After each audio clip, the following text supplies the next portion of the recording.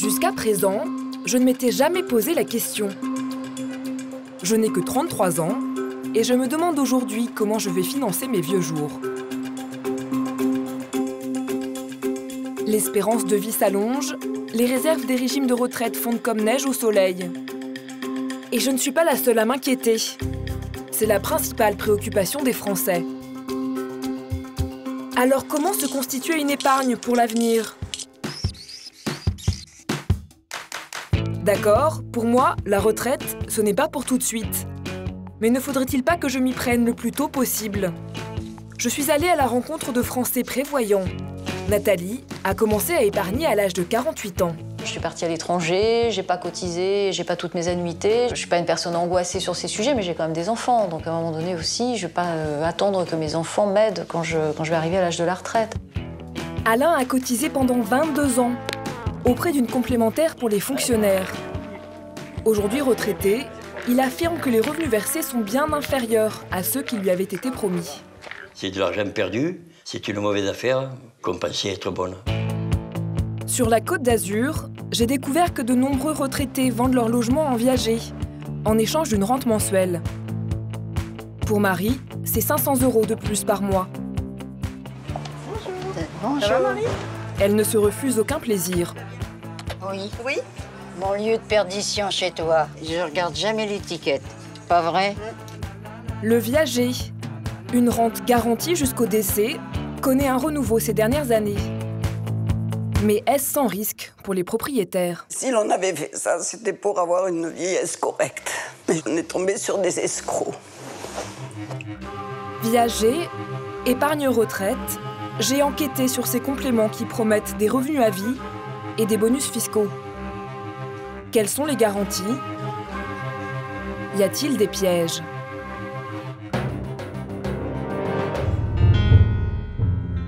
Je vais d'abord m'intéresser au plan épargne retraite populaire. Le PERP. Proposé par les banques, c'est l'un des placements qui a eu le plus de succès. 2 millions de Français en détiennent un aujourd'hui. Dans le 20e arrondissement de Paris, je rencontre Nathalie Barré. Il y a deux ans, à l'approche de la cinquantaine, elle a voulu épargner. Sa banquière lui a conseillé le PERP. J'ai eu des interruptions au cours de ma, vie professionnelle et que je me suis dit avec ces trous, ça risque d'être un petit peu compliqué d'avoir toutes mes annuités. Elle m'a dit voilà, on a des solutions qui peuvent vous intéresser et euh, qui vont vous permettre d'avoir une retraite plus confortable. Donc euh, vous avez une situation financière qui vous l'autorise, vous devriez mettre de l'argent de côté dès maintenant. Donc ce que je vous propose, c'est de, euh, de signer un PERP. À l'époque, Nathalie est chef de projet. Sur ses 4000 euros de salaire, elle verse 500 euros par mois. En tout, plus de 10 000 euros en deux ans. Chaque année, elle déduit ses cotisations de ses impôts. Un autre avantage du PERP. En janvier dernier, elle quitte son emploi. Ses revenus baissent. Je me suis dit, bon, bah, très bien, j'ai un petit peu d'argent de côté, je vais pouvoir euh, euh, compenser avec ce capital mis de côté. Euh. Et là, aux surprises, elle m'a dit, mais c'est absolument impossible. Nathalie apprend alors que le capital qu'elle a placé à la banque est bloqué jusqu'à la retraite, sauf conditions exceptionnelles.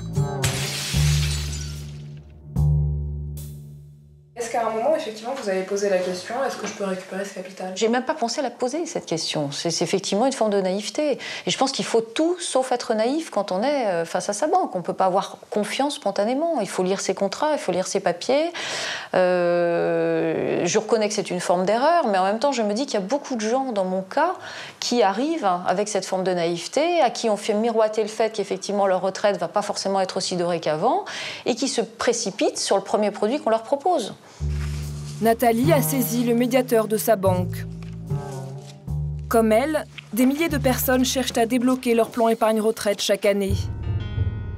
De petits épargnants dans des situations financières parfois bien plus délicates.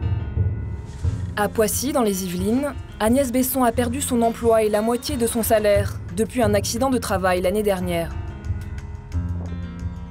Aujourd'hui, elle a du mal à faire face à ses dépenses. Voilà, ça c'est un courrier de l'agence qui me dit que je- j'ai 48 heures pour payer le loyer.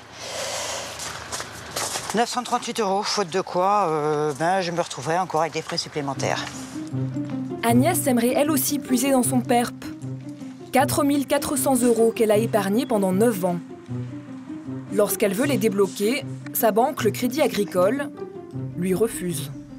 Ils m'ont répondu une semaine après qu'il n'était euh, absolument pas euh, possible, sauf si nous étions reconnus en deuxième ou troisième catégorie d'invalidité par la sécurité sociale, ou à l'expiration des droits d'assurance chômage, ou en cessation d'activité, ou en surendettement. Ça veut dire qu'il faut qu'on attende vraiment d'être au fond du gouffre pour pouvoir le récupérer. Elle découvre également que le PERP n'est pas adapté à sa situation. 2006, non imposable, zéro. Agnès ne paye pas d'impôts. Elle n'a jamais pu profiter du principal avantage d'un PERP, la défiscalisation. Chaque début de mois, Agnès est à découvert et sa banque lui facture des agios. J'ai 8 euros en commission d'intervention, c'est tout ce que j'ai marqué euh, en jaune. J'ai pratiquement euh, 90 euros sur, euh, sur deux jours, entre le 9 et le 10 avril. Vous allez pouvoir continuer combien de temps comme ça? Pas longtemps. La personne qui m'a vendu cette chose n'a pas été honnête avec moi. Agnès envoie des courriers, appelle sa banque. En vain. Chaque semaine, elle tente sa chance auprès de son agence. Je l'accompagne en caméra cachée. Bonjour. La conseillère qui lui a vendu le PERP est à la retraite. Une nouvelle interlocutrice a repris son dossier. Je tire la langue alors que j'ai de l'argent. Et ça m'énerve. La, la personne qui m'a vendu le contrat, elle ne m'a pas expliqué. J'aurais pris un autre produit, quelque chose que je puisse débloquer en cas de besoin. Parce que Pour la conseillère, cette information était bien spécifiée dans les clauses du contrat. Ce que vous avez signé, c'est marqué dedans. Ah, mais On est censé on nous donne ça comme feuille. On sais. nous donne ça comme feuille. Portez plainte contre madame. Moi, je sais pas, je, voilà, c'est. Contre le siège. On sait pas, il y a dix ans, voilà, on sait pas ce qui s'est dit, on sait pas comment elle a présenté les choses. euh, Alors quel intérêt de vendre des produits qui ne sont pas adaptés? Ah, des chefs d'agence qui nous cassent les pieds, et puis voilà. Il il faut vendre, c'est un commerce quand même. Une banque, c'est enfin, c'est quand même un commerce. C'est normal. On ne peut rien faire. Ce discours, Agnès l'entend à chacune de ses visites. C'est mon argent, ça m'appartient, mais on a l'impression en fait qu'on leur arrache le cœur quand on leur réclame le dû. Son ex-conseillère aurait-elle volontairement omis certains détails pour qu'Agnès signe le contrat? Je pose la question au siège du Crédit Agricole Île-de-France, à Paris. Elise euh, Thomas Richard, la journaliste de TAC Presse pour envoyé spécial. Je vous rappelle euh, à propos de, de Madame Besson. Je ne peux pas euh, du tout euh, euh, m'exprimer sur ce sujet. On est quand même face à enfin, des, des gens qui ont des accusations assez graves, défaut de conseil. Est-ce que vous avez à répondre par rapport à ça? On est transparent, on remet de la documentation à nos clients, il y a des questionnaires, tout, tout est carré. En tout cas, il y avait la documentation du contrat qui intégrait euh, les cas de déblocage. Merci. Au revoir. Ces informations figurent bien sur les documents donnés à la cliente, dans une notice annexe au contrat. Mais les termes sont peu explicites. Quant aux conditions de déblocage, elles sont précisées en bas de page, dans des caractères minuscules. Entre 2004 et 2006, le PERP est un produit phare dans le catalogue des banques. Ont-elles poussé leurs salariés à en vendre à tout prix? C'est ce que va me confirmer une conseillère, employée d'un autre grand établissement bancaire. Elle souhaite rester anonyme.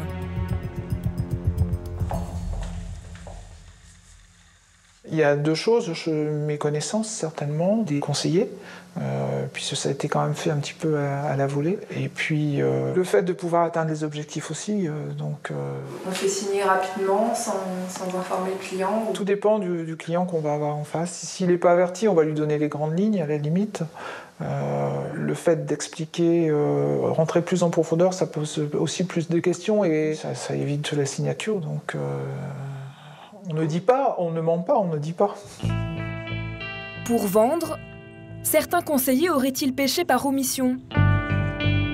Quatre jours après mon appel au siège du Crédit Agricole, Agnès Besson reçoit sept réponses du médiateur de la banque.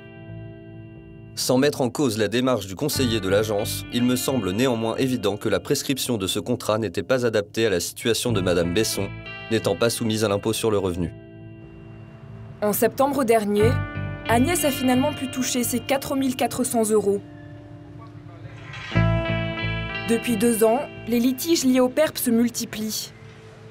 L'Association française des usagers bancaires reçoit une dizaine d'appels par jour.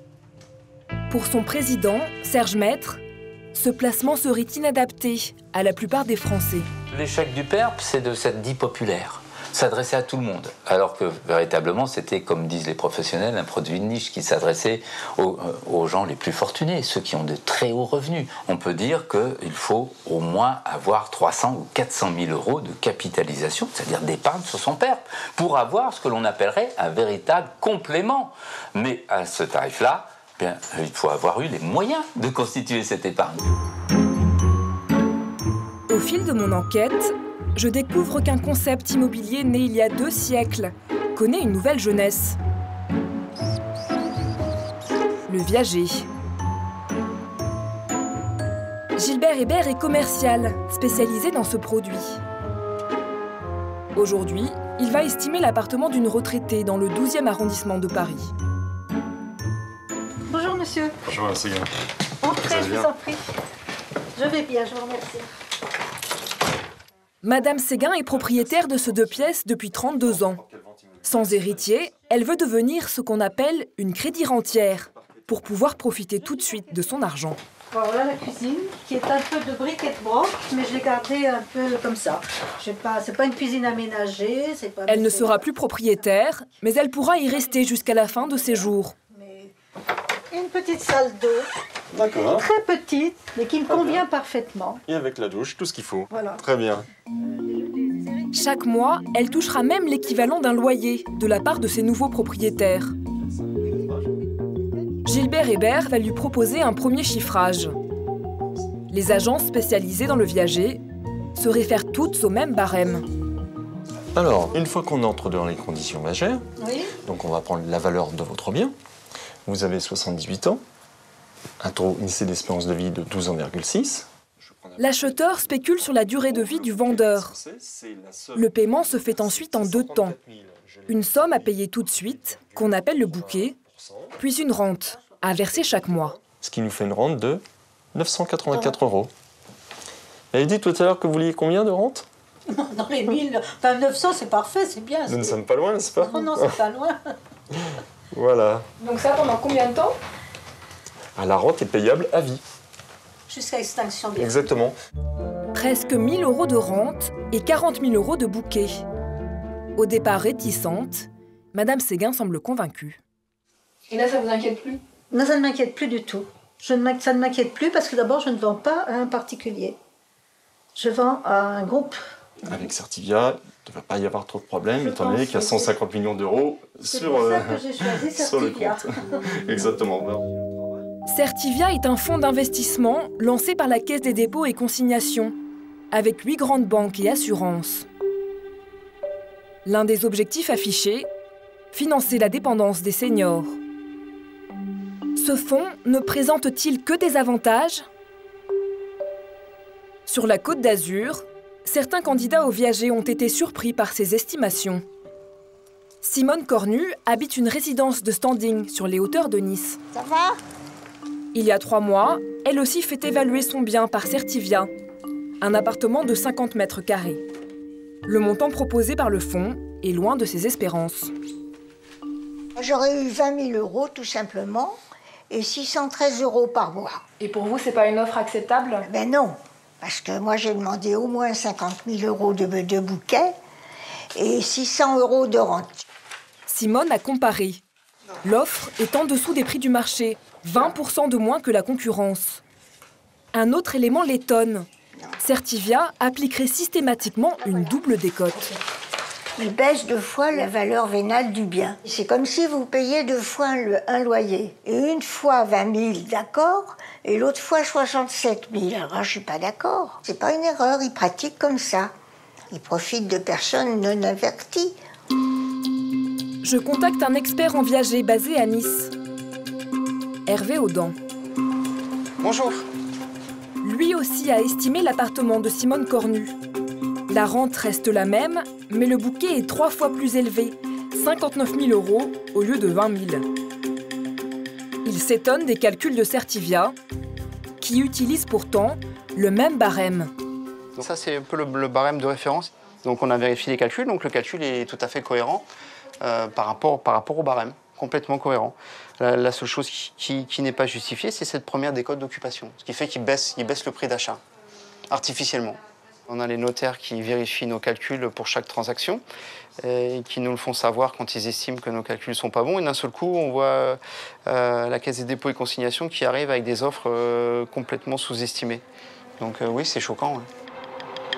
Certivia tenterait-il d'acquérir des biens en dessous des prix du marché? Je pose la question au PDG de la société qui dirige le fonds. Il n'y a aucun acteur sur le marché qui utilise une double décote comme ça. On nous fait un mauvais procès en transparence sur le sujet, c'est-à-dire qu'on est clair, on explique la décomposition du, du prix. On n'a jamais dit qu'on devait être à chaque fois le prix le mieux disant. Voilà, euh, les gens sont libres de l'accepter, de ne pas l'accepter. Justement, Mais les gens. Ça ternit pas un peu l'image justement que les gens peuvent avoir au départ de Certivia, qui, était, qui, qui voulait se donner une image éthique, un peu sociale? Non, alors le point qui a sans doute été euh, un peu mal compris, c'est pas parce qu'on cherche à impulser un marché, c'est pas parce qu'on cherche à, à- à normer des pratiques, etc., qu'encore une fois qu'on est dans, dans une notion de service public. hein. C'est-à-dire que c'est un fonds d'investissement. Un fonds d'investissement qui a, lui-même ses objectifs de, de rendement. La pratique n'est pas illégale. Certivia fait jouer la loi du marché. En France, c'est sur la côte d'Azur que le viager connaît le plus grand succès. C'est aussi là qu'a éclaté l'un des plus grands scandales concernant ce produit. À Cagnes-sur-Mer, Claudine Rousseau a acheté cette villa avec son mari il y a 20 ans. 200 mètres carrés, entourés d'un petit jardin. Je mets une rose à mon mari, il les aimait beaucoup. Il est décédé le 21 mars 2010. C'est pas très vieux. Et maintenant, je me dépatouille toute seule. Un an avant ce décès, le couple est démarché par une nouvelle société, Eagle Fininvest. Avec l'aide d'agents immobiliers spécialisés dans le viager, les dirigeants acquièrent une centaine de biens sur la côte d'Azur. Ils ont téléphoné et je leur ai dit bon, ben, venez voir sur place. Et là, ils nous ont fait un laïus pas possible pour le viager, pour que c'était très bien, qu'on n'avait même pas à calculer les rentes, que c'était la société qui les calculait. Et l'agent immobilier nous a dit qu'il avait signé plusieurs contrats avec eux, que c'était des gens corrects, qu'on ne risquait rien. Les Rousseau acceptent l'offre et vendent leur maison. 90 000 euros de bouquet et 1200 euros de rente mensuelle. Mais au bout de 4 ans, les versements s'arrêtent. J'ai téléphoné gentiment. Je suis tombée sur une secrétaire qui m'a dit Mais Vous savez, si vous, si vous, vous ne serez plus payé. L'argent du fonds, plus de 6 millions et demi d'euros, aurait été détourné. Quelques semaines plus tard, Claudine reçoit cette lettre anonyme. Des coupures de presse. Les deux dirigeants avaient déjà été impliqués, l'un dans une affaire d'escroquerie, l'autre dans un trafic de cocaïne.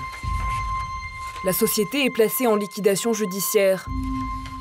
Claudine aurait pu faire annuler la vente, mais mal conseillée, elle a dépassé le délai. Je ne peux pas disposer de ma maison comme je veux. Si j'avais envie de la vendre, je ne peux pas parce qu'au cadastre, elle est enregistrée à leur nom. Si je casse ma pipe demain, ils la récupèrent pour 130 000 euros. Elle vaut, quand même dans les 700 000 minimum. Et on vit comme, comme des pauvres. On a un toit sur la tête, d'accord? Mais on n'a pas suffisamment d'argent pour vivre correctement. Claudine n'est plus propriétaire, mais elle continue de supporter toutes les charges de cette maison devenue trop chère pour elle. Avec sa retraite de 850 euros, elle n'arrive plus à payer le chauffage. Chaque hiver, elle condamne le premier étage. Ah oui, je suis obligée pour que, empêcher la chaleur de monter, comme je ne vis qu'en bas. À 88 ans, Claudine est loin de vivre la retraite heureuse dont elle avait rêvé. Si l'on avait fait ça, c'était pour avoir une vieillesse correcte. Parce que mon époux savait que je n'aurais pas une grosse réversion. Il m'a dit, ça c'est la solution et on reste chez nous.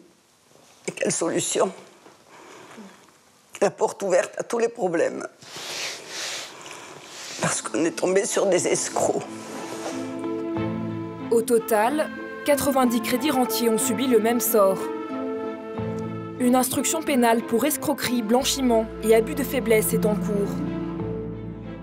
La justice soupçonne les dirigeants d'avoir détourné l'argent des actionnaires destiné au paiement des rentes pour financer leur train de vie luxueux. Ils auraient acheté une villa d'un million et demi d'euros en bord de mer dans le Var. Cette villa, la voici, à Saint-Raphaël. Quand je me rends sur les lieux, le dirigeant est sur place. Monsieur, euh, je voulais vous voir parce que je voulais vous parler de, l'affaire Life Invest euh, dans laquelle vous êtes impliqué. C'est parce qu'on a rencontré effectivement des crédits rentiers qui estiment avoir été euh, euh, trompés, euh, victimes d'une escroquerie, qui aujourd'hui ont plus, plus de rente. Oui, je sais. Où est passé l'argent de ces rentes? Bah, si vous avez deux secondes à monter dans, dans mon bureau.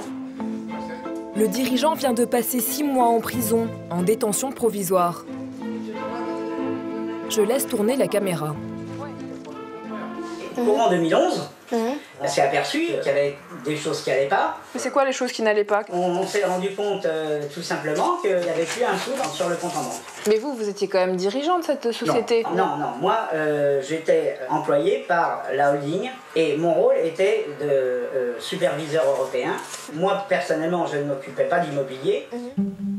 Dans des documents que je me suis procurés par la suite, il apparaît pourtant clairement comme le premier responsable du fonds. Devant la caméra, il rejette la faute sur un partenaire suisse. Le gestionnaire de fonds a vidé les comptes. D'accord. Il a dissous les sociétés, fermé les comptes bancaires et circulé, il n'y a plus rien à voir. Vous, vous avez été incarcéré, donc euh, bon, généralement la, la justice ne fait pas ça pour rien, c'est qu'elle Ah veut estimer. vous savez, Elle se plante. Mais alors, de A à Z.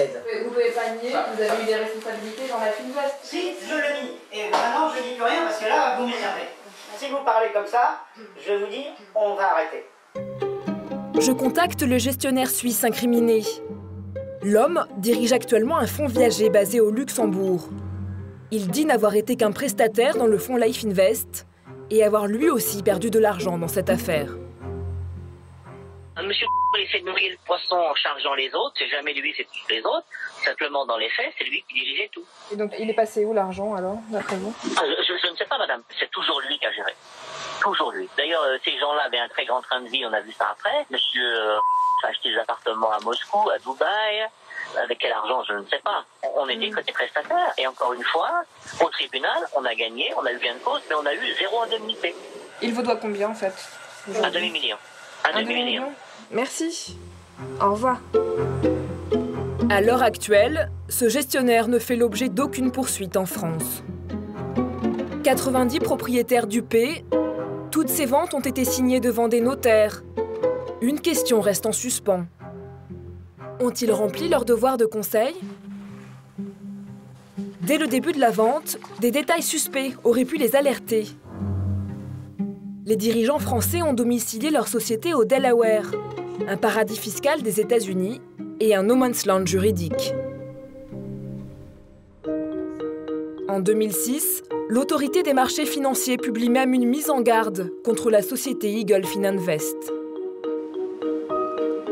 Je retrouve la notaire qui a signé le plus grand nombre d'actes de vente pour le compte du fonds. C'est elle qui a validé le viager de Claudine Rousseau. C'est pourquoi En fait, je voudrais vous poser des questions aussi sur, Life Invest. Je voulais avoir votre ressenti, parce qu'on a des gens qui vous mettent en cause. Donc, euh, Ben oui, mais c'est normal, quand Hmm. ils se sentent lésés, euh, ils vont me remettre en cause moi, alors que j'y suis pour rien. Le devoir de conseil, euh, il a été rempli, je vous assure, par rapport à tous les documents que j'avais et les renseignements. il fallait pas creuser un peu plus sur, cette- Alors j'ai Parce beaucoup qu'on creusé, pas, euh, plus que j'ai j'ai sur la personnalité, puisque je suis qui travaille avec lui avait été condamné pour, pour trafic de cocaïne. J'ai ce sont pas quand même des gens qui ouais. n'étaient pas très recommandables. pas, quoi. j'ai pas, j'ai pas vu. On n'est pas enquêteur, on n'est pas commissaire de police. Donc on se retrouve dans une situation où on n'a pas les moyens de faire les vérifications. Les notaires n'ont aucune obligation de vérifier les casiers judiciaires des acheteurs. Peu de temps après l'affaire, la Chambre des notaires de Nice appelle l'ensemble de la profession à la vigilance. Tant que la procédure est en cours, les crédits rentiers ne toucheront pas leur argent. Claudine, elle, n'a plus qu'un seul espoir, vivre jusqu'au jour où un autre investisseur reprendra son viager.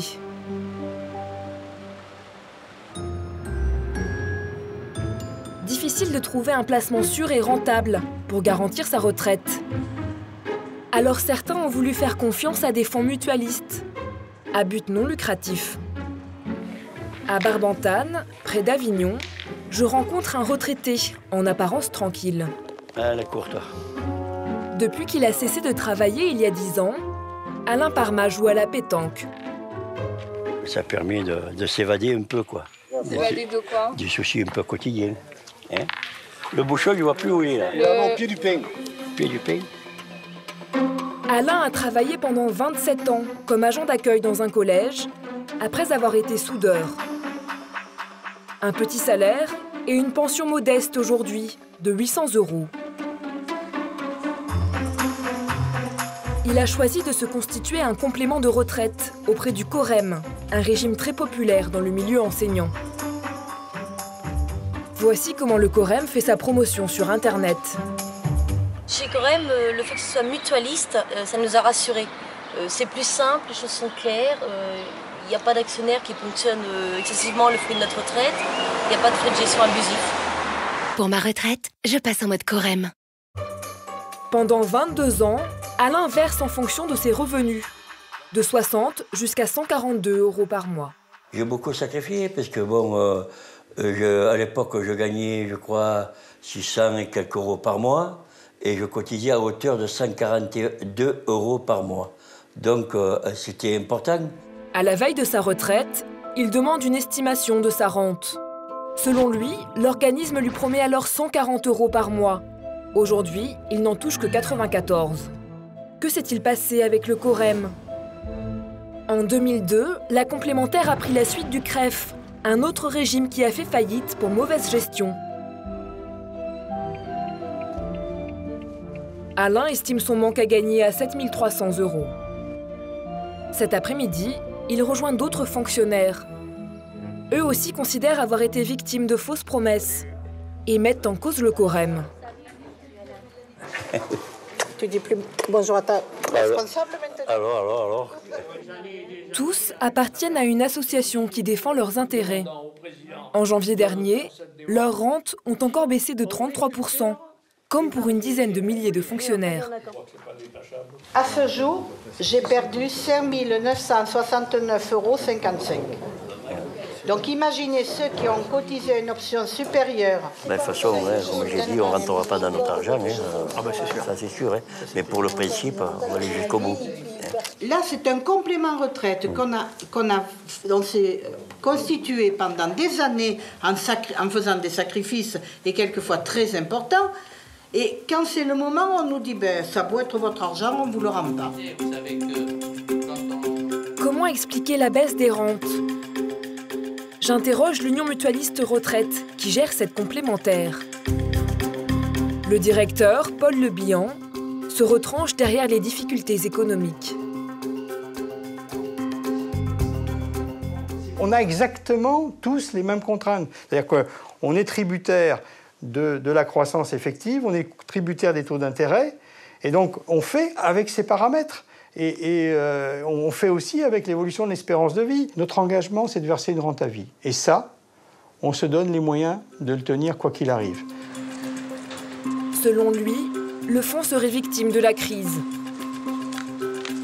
Des adhérents de l'association d'Alain ont porté plainte contre le Corem pour publicité mensongère. À Paris, je rencontre leur avocate. Lorsqu'ils annoncent un taux minimum garanti de rendement, euh, ils doivent impérativement le respecter puisque c'est la raison pour laquelle on va souscrire le produit. Ce que leur avocate remet en cause, c'est notamment cette brochure datée de 2013. On a un produit qui est annoncé comme étant sûr et performant, euh, alors que à la date d'émission de ce document publicitaire, on savait qu'il n'était pas sûr, euh, compte tenu de la quasi-faillite de son ancêtre. Et il n'est pas non plus performant, parce qu'en réalité, depuis euh, de nombreuses années, il ne couvre même pas euh, l'inflation. On ne peut pas faire confiance à ce type de placement. Une enquête préliminaire a été ouverte. Alain, lui, a fait une croix sur sa retraite complémentaire. Avec les autres plaignants, il espère simplement la fermeture du régime.